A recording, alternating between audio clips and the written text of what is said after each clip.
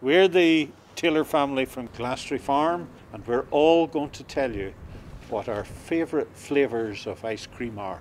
Chocolate. Honeycomb. Chocolate and marshmallow. I like lavender and raspberry. The original classic, mine's definitely vanilla.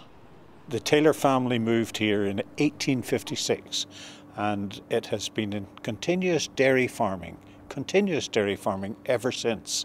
This is countryside, it's near the sea, it's unspoilt. We are in a particularly good part of Northern Ireland for, for growing possibly more grass than other parts of Northern Ireland. At either end of the season, we would have a lower lower amount of rainfall, I suppose, and um, we, can we keep grazing um, early in the season uh, and late in the season. Our herd, in particular, that was founded on a, originally a, an Ayrshire herd. We have been bred from them um, to the Holstein. They probably do look a bit skinny on it, so they do, but that is that is the, the Holstein breed, so it is. And the milk from the dairy herd um, goes into our award-winning ice cream, Glastry Farm ice cream.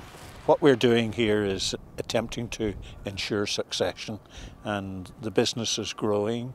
And each generation has to form sufficient financial reward to keep two families going. This is home, and this is what we do, and we, we try to try to do it as as, uh, as good a job as we possibly can.